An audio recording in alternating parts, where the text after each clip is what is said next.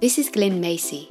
He is a painter, mixed media artist, and adventurer living in wild West Cornwall with his wife, Kerry, and his children, Tal and Katie. His studio is based in the historic quarter of Penzance in a Grade 2 listed building on Chapel Street. Having grown up on the shores of the Atlantic, his work is inspired by the oceans and coastlines, harbours, and rugged landscapes of Cornwall. He works mostly in acrylic, building up layers of colour and texture with glazing techniques to create vibrant, bold pieces that show the energy and movement of a place.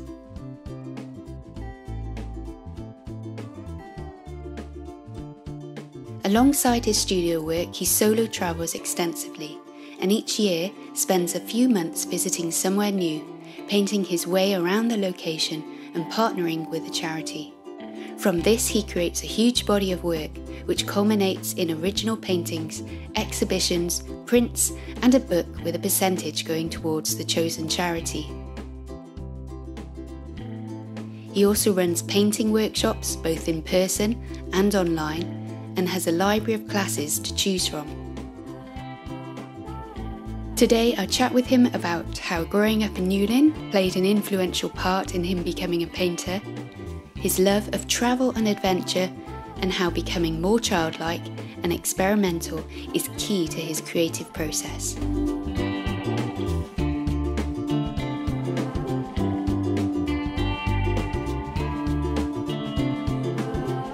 I'm Mel Chadwick. This is season 2, episode 2. Welcome to Creative Conversations. Hi, guys, welcome to another creative conversation. I'm here in the studio of painter Glyn Macey. Welcome, Glyn. Hello, thank you. Well, thank Thanks. you for letting us come and be in your studio today. We're here in Penzance, and this is where your studio is based. Yeah. Could you actually tell us a little bit about your background, where you grew up, and what kind of took you in the direction of becoming a painter? Yeah, sure. Well, I, I'm from Newlyn, hmm. which is just the other side of the bay, about two miles from Penzance. And in Newlyn, when I was growing up, yeah, everybody's either a fisherman or an artist. They're, they're your two choices. And if you know, Newlyn, Newlyn's very famous for the Newlyn School of Painters, Victorian painters, which are just incredible. And so, kind of, I grew up with this atmosphere of these Victorian Newlyn School painters around, and I was kind of walking home from school, seeing the same views, and I used to kind of go home and paint my own little ten-year-old versions, and and I've just not stopped, and so I'm kind of still doing it now, essentially. It was as simple as that. Simple as that. Fisherman or artist. Fisherman or artist, and um, literally as simple as that. Yeah. And so, did you go off to college? Did you do any training, or did you just kind of keep painting and? I did both actually. I mean, I, I I went to art college, but I studied graphic design. Oh right. And so, um, so I worked as a graphic designer, an illustrator, and you know, in advertising and marketing and all of those kind of things to earn a living. But at the same time, I was still painting, and that's something I was doing from the age of about three. And um, and then when the painting took over from the design, I quit design, concentrated on the painting, and yeah, here I am, And have you always been based in Cornwall? Based in Cornwall, but I work all over the world, Yeah. literally all over the world. So, um, so very much always come home, and you know this is my home, um, and it's great to be surrounded by friends and family and all the rest of it. Um, but um, but for me, the whole kind of exciting part comes from the travel. Yeah. How do you run your business? What different things do you do? Ah, well, my business is is is kind of multi-layered, really, in as much as you know I teach workshops. Yeah. um, uh, more than anything because it's the one time I get to talk with people. Because you know, as, as an artist, it's it's very very solitary. You know, it's just usually just like me and Radio Four, and um, so I get to I get to I get to have some new friends for the day. Yeah.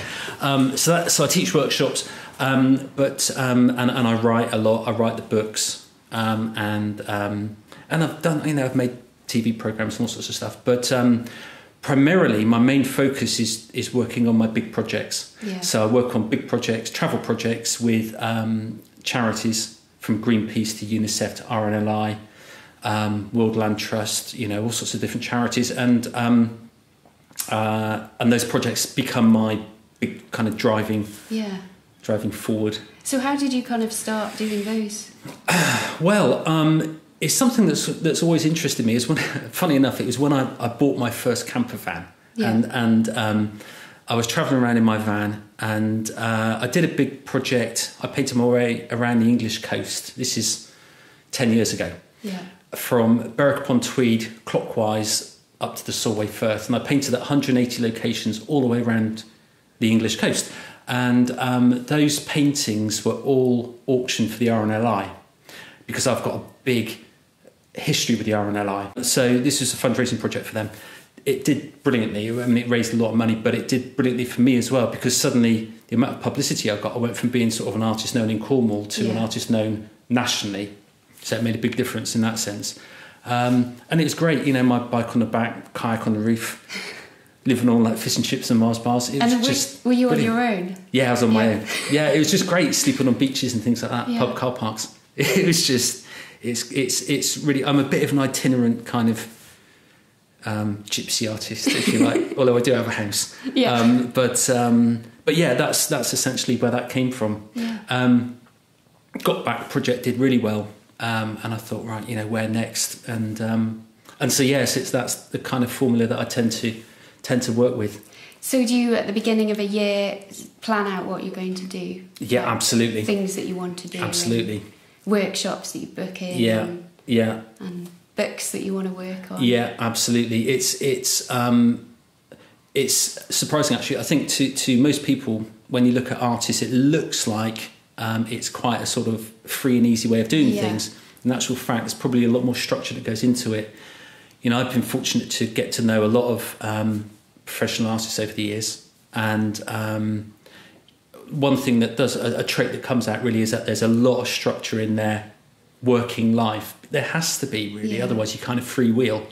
So there has to be a lot of structure in that sense, and um, uh, that's about as much structure as there is. Of course, Yeah. the rest of it's just having fun. But Yeah. yeah, So um, do you have do you do all of the admin yourself, or do you have like a, a team? I do or- know. Um, it depends what it is. Again, depends what it is. My wife does a lot of it as well. You know, absolutely my sort of partner in crime, really, in that sense. Um, and so between the two of us, um, you know, everything gets done as it should and Yeah. on time, um, which is which is good.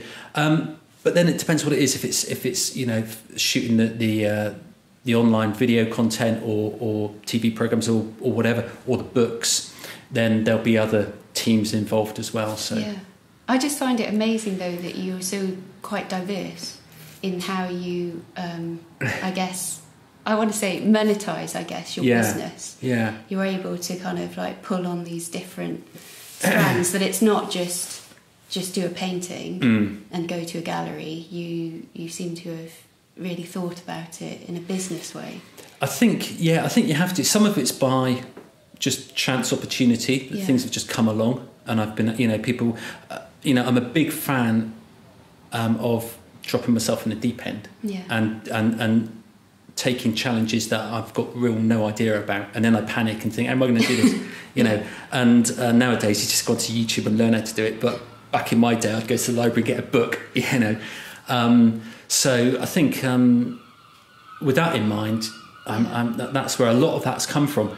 But um, it's just all about learning new skills, you Yeah. know. And I think um, if you're constantly learning new skills and, and dropping yourself in the deep end, it, it really stands you in good stead. Yeah, I want to talk about um, your process for creating work, for creating your paintings. Mm. So how how does that work? How do you get inspiration and how do you go about creating a Eh, piece? It's my way of working is different to a lot of artists in as much as I don't really have a process. I don't have a process at all. Um, what I'm what I'm always looking to do is is is to capture the layers of interest in something. So, I mean, there's a big painting behind me there. I've just I just did a project about all about the Tinners Way, which is an 18 mile footpath Yeah, runs from Cape Cornwall to St Ives across the backbone of Penwith. And um, this footpath is 5,000 years old. So there's 5,000 years of layers of history, story, legend, um, birth of the uh, Bronze Age, birth of the Industrial Age, all rolled in. Um, and so when I'm creating the work, I'm trying to capture all of those layers. So instead of just the purely visual aspect, Yeah. um, I want to capture the history and the stories to go with it, if that makes sense. Yeah. Yeah. Um, you know, kind of when I started off painting, you know, it was all about sort of the picture postcard view, and then I was, I realised after a while I wanted more than that, Mm. And that's where this work comes into it. Yeah. So with that in mind, I use a lot of found materials in the work, a lot of collage, um, a lot of collected um, tat, essentially, and um, but again, it's just to capture that. Yeah. Um, So you go to a new place and you you obviously you're looking at the landscape, you're looking at what kind of sparks your interest, the colours. Um, but then you're also wanting to research the history. Absolutely, yeah. The research is a big, big part of it, and um, and when I'm when I then go and explore the new location, I'm trying to capture it with with all of my senses as well. So obviously, artists are using their eyes all the time, Yeah. um, and they're sketching or they're painting studies or whatever, which I do as well. But um, that's only using one sense. So what I like to do is I'm making written notes of overheard conversations, what the temperature's like, if it's sunny, you know, Yeah. plants that are out at that time. Um, I might make sound recordings on my using the phone. Um, might be crashing waves, might be birdsong, might be, you know, tractors, might be traffic. Um, so I'm using, trying to use all of those senses to, to capture the atmosphere in its in its kind of uh, most rounded form, Yeah. and then feed it all into the painting. And do you then come back to the studio and work on it with all of these kind of things? Initially outdoors, so most of the work's made outdoors, um, and then it might come back to the studio to to um, uh, maybe layer it up a little bit Yeah. more, maybe correct things if I need to, um, or it might just be a practical sense. You know, if, I, if it's big canvases, big works, you know, it might just work better in the studio Yeah. because it's not getting blown around by No, the wind yeah. essentially. Yeah. Um, so yeah, so then come back to the studio and um, and start to distill all of those elements and bring them together. Yeah. So do you have like a kit that you take with you? Uh, that's my kit. It's in this bag, this little bag here. That's the kit. Um, there's very little in there actually. There's about three or four brushes and about six paints Yeah. and um, a whole bunch of mount board that I paint on and um, and some glue. Yeah. That's about it. Talking earlier about your trip to America Mm. um, and the fact that you just um, just basically rented a car and drove across America and painted your way across. Yes, yeah. It just sounds really quite incredible that you just went and did that. Um, Well, again, you know, it just it all comes on the back of this that original English Coast project, Yeah. and and um, it kind of just really worked for me, and, and it worked for the charity, and and um, you know, it just gets. I love to get people involved, and as I say, you know, being an artist is very sort of solitary, so it's just me and Radio Four. So I do like to get people involved if I can, yeah. and certainly with the project, people really get involved. Um, and uh, follow me, and with social media now, of course, you know I can be posting constantly, you know, posting updates of where I am and what I'm Yeah. doing and all the rest of it, and um, and and people seem to really enjoy that, and so that's fantastic for me because I've got that sort of two way Yeah. thing happening. Um, so yeah, so when it came to the America America trip, I just thought, you know, where do I where do I want to go next? And, and I, America was never really somewhere on my list, really, but I just kind of just stuck a pin in the map Yeah. and um, literally, and um, I thought, okay, well, the English coast is actually three thousand miles, funnily enough, um, and I thought, well, coast to coast, New York to Los Angeles is three thousand miles as well, so I'll give that a go. and um, Did you know anyone in America? I had a, a couple of friends that live in. Um, I had had friends in in uh, New York, just outside of New York, and friends in um, Santa Barbara, Yeah. the other side, Yes. and no one in the middle. and so I was by myself for about a month, and um, it was it was good. It was just that bag. I had a Yeah. box box full of CDs, um, and um, and that was it. Yeah, and the road. And the road, yeah, which was f- incredible. Hmm. Um, just in, incredible country Yeah. and and fantastic people actually as well, um, which I wasn't expecting. But um, it was it was that that was great. But then you get some scary bits as well. Yeah, You yeah. know, take a wrong turn in and find yourself in Some place. yeah, a place that yeah You must have so many good memories, though. So many, well, so many memories. So many, Yeah. so many memories. Yeah, no, it was, it was a fantastic trip. It really Yeah. was an incredible trip, and um, and that, that was great. That was great. And you now have like a, a little book of that trip Yeah. as well. Yeah, there's the book that came out for that. I tend to um, a book tends to be published for all of my projects. Um, so um, yeah, there's one for each of them. So whether that's um, the America trip, you know, which is which is an entire continent and three thousand miles, or whether it's the Tinners Way, which is an eighteen mile footpath. Just as much attention, I put t- just as much attention into an 18 mile footpath as I do into a 3,000 mile road trip. So, um, uh, you know, and it could be very, very close to home, or it can be the Arctic, which I've just come back from, Yeah. painting my way around the Arctic. So it could be something as big as that, or something as small as a footpath, and um, gets the same attention, Yeah. And and gets the book. And the book's kind of like my, almost like a full stop to it, and it sort of encapsulates everything Yeah. Yeah. forevermore. You think that's quite important, actually? It's it is for me Yeah. because um, I was finding that my projects before I would do the work, um, be really pleased, do maybe put on an exhibition. A couple of weeks later, the exhibition finishes, and then it kind of dissipates as if it never really happened. And um, so, you know, it's all about capturing it. So that I can, when I'm an old man, when I'm even older than I am Yeah. now, I can look back and think, "Oh, look at that." Yeah. I think that's actually really important. Yeah. It- I definitely think it, it, it kind of completes it. It does, yeah. It's exactly what it does. Yeah, it completes Yeah. it. Yeah. Yeah. and then you can tick it off, and then you're on to your next. Yeah, you free up that space in your head as Mm. well to move on to your next project. Exactly that. Exactly that. Yeah. Um, a lot of your work, um, you use acrylic. Mm. Is that the only medium you use? No, I paint in all. Well, I use all all mediums. Um, I paint a lot on watercolor, um, oils, inks, all sorts of stuff. I use all mediums, but acrylics are kind of really do it for me because, um, particularly if I'm traveling, because acrylics they dry quickly. Yeah. I can glaze with them. A lot of my work is about glazing, so I'm taking colours and glazing over the top to create those that kind of rich vibrancy. Yeah.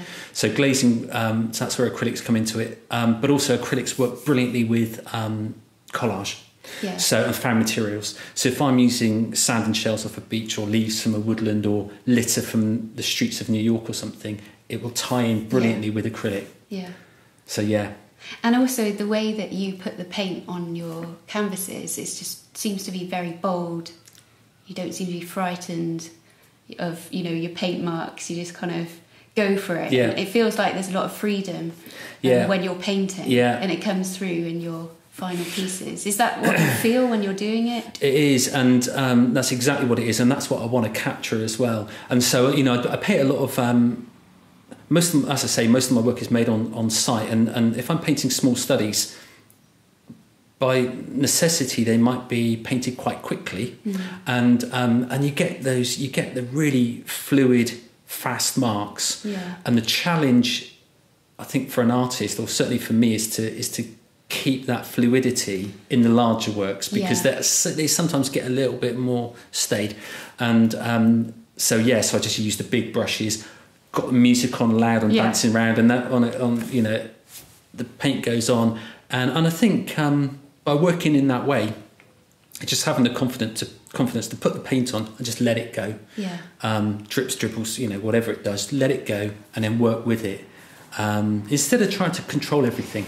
Yeah. So you very much like to experiment, I yeah, guess. on your absolutely. It's all about experimentation. It's all about exploration. Yeah. So whether that's putting paint on a canvas, that's about exploration. Whether it's about traveling around the world, um, same thing. If if it's walking a footpath and not knowing what's around the corner, or not knowing what that plant is, or not knowing what that bird is, it's exploration. So for me, everything comes down to that exploration. That's what really kind of drives me forward. Yeah.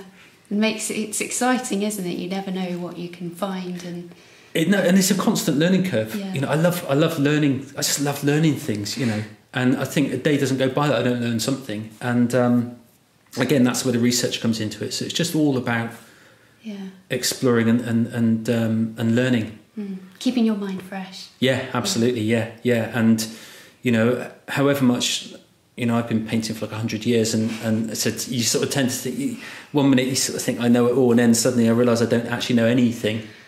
And, and, and I think that's really important just to, to, to um, realise that you don't actually know it all. And there's so much more to know, so much more to explore and, and, and learn. And that is hugely exciting. And that's really motivating, I think, as well. Thinking that okay, well, I haven't got quite, I don't know everything. So Yeah. it kind of pushes you forward. It really does, and and um, you know, I do a lot of work with, um, or I've done a lot of work with children in schools and and, and, and workshops, and you know, what's so we were chatting about it earlier. You know, what's so brilliant about kids, of course, is that they just want to know, you know, why, why, why, you know, why, why, why, and I find that hugely exciting. You don't tend to get it from adults so much No. because adults, again, kind of think they know lots of things. Children just go, why is that? Why is that? Why, why? And and so I tend to think a little bit like that, you know, um, and that that's uh, that's exciting and and infuriating at the same time. Depends who you're with. Where would you like to see your business uh, going in a year or five years? now these projects work out so well for me and and um, and I just love doing them and there's you know so much to explore um, it's it's very much about um, about concentrating on these projects um, I've got a, I've got a list of journals with my ideas in far more ideas than I could ever actually do which Yeah. is quite depressing actually I was just working out the other day I was like how long will it take to do this and there's Yeah. about 160 years or something I thought well I've, I'll have to cherry pick which ones to do Yeah. um, so very much just concentrating on those and um, and so yeah so the ne- my next a big project I'll be working on next is all about um, vanishing habitats you, um, in Britain Yeah. British vanishing habitats and um, which disappearing before our very eyes so they're going to be you know again recorded through paintings as a book and and will be filmed as well so Yeah. That's really that's a really interesting project. Yeah, it is actually. It is. Yeah, it's, it's really exciting. It's it's again, it's a little bit on the back of um, of the Arctic project. You know, I went, I went to the Arctic when um, I got fed up listening to Donald Trump talk about climate change. So I thought, well, I'll go and have a look for myself. And um, you know, I was at um, 80 degrees north, which is about 300 miles from the North Pole, and um, on a boat, and there were polar bears swimming, looking for ice to fish from, and there's no ice, and and uh, I thought this is just insane. And when I came back and was, was researching it, um, suddenly I I sort of realised that actually there's again talking about local projects. There's just as many, just as important habitats that are very local to us that are also disappearing at just as fast a rate that we don't seem to be aware of.